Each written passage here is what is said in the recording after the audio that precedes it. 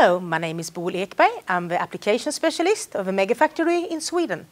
Today we're going to do a static resistance measurement and we're going to use EGIL 223 and we're also going to use the injection unit SDRM.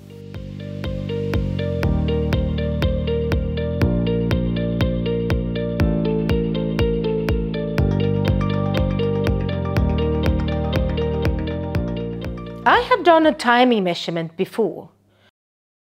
And now I need to set for the SRM measurement.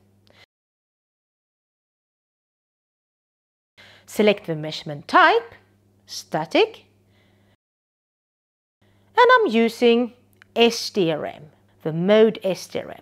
If your SDRM mode is not available here, that means you don't have that option.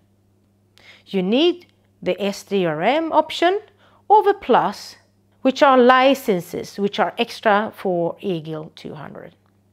I only have one SDRM box, so I'm, I'm going to do the measurements phase-wise. I start with phase A. You see the difference here when I select ABC, that my instrument is not big enough to do all the phases at the same time. So I need to do the measurement phase-wise.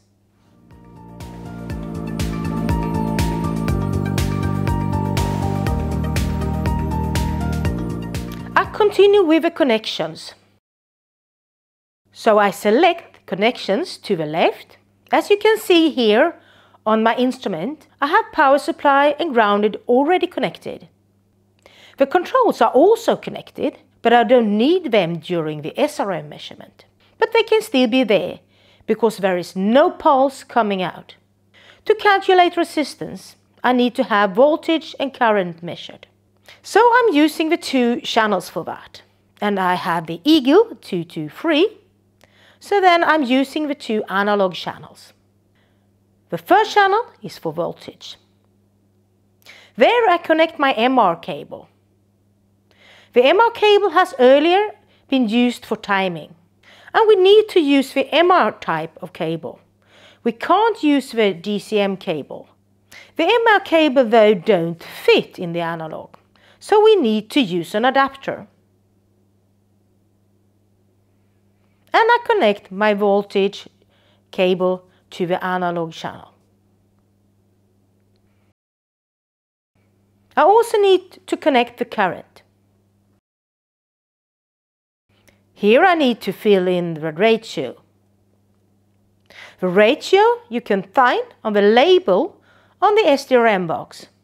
My specific value is 10.007 and I need to divide that with 250 and I get the value 40.028 and I fill that in 40.028 so and the offset was minus 0.7 and I connect the first channel of it SRM box to the second channel of my instrument. I also need to connect my Trig DRM output. I can see I should connect them here to the minus and the plus. As you can see, it should also be charged and of course connected to the big SDRM box with a long cable up to the object.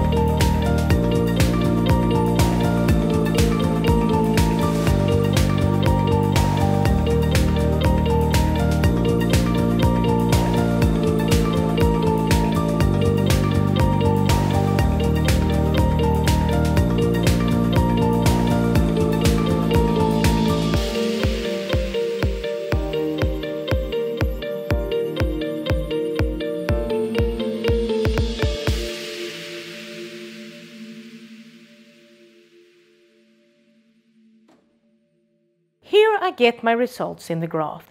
I start with looking at the parameters. My result here is 27,9 microohms. The current has been 151 amps. Okay, I have to change my settings here in the graph to see that I can view my graphs properly. I have my voltage and my current and also my resistance. So I changed them. Then I continue to do a couple of measurements. So I get a few measurements here in my list. Then I change to the next phase, to B phase. And of course I need to move my SDRM box to the next phase on the circuit breakers. My connections are still the same on the instrument. Thank you very much for the attention. Check out our other videos on YouTube.